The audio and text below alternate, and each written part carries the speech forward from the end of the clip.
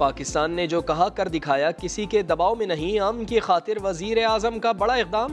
भारतीय जंगी कैदी wing commander अभिनंदन को वागा बॉर्डर पर भारतीय हुकाम के हवाले कर दिया गया। पाकिस्तान का पुरवकार अंदाज पूरी दुनिया ने देखा। भारतीय फौज ने अपने अफसर को सल्यूट तक न किया।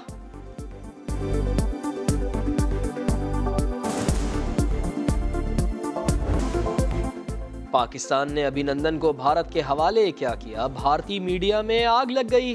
जिल्लत और रसवाई के बाद भारतीय तजियाकार और सबक फौजी अफसरान बरस पड़े। कहा, जिस फौज पर अरबों रुपए खर्च किए जाते हैं, उसका ये हाल होता है।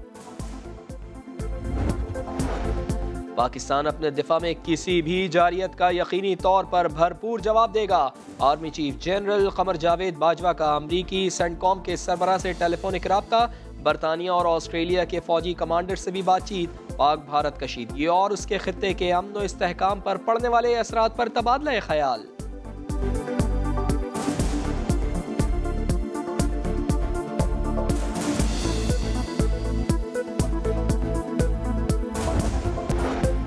और मकबूजा कश्मीर के ज़िला कुपवाड़ा में भारतीय फ़ौज की रियासती दहशत गर्दी जारी। है मुहासरे और घर घर तलाशी के दौरान एक जवान शहीद और दूसरा जख्मी हो गया।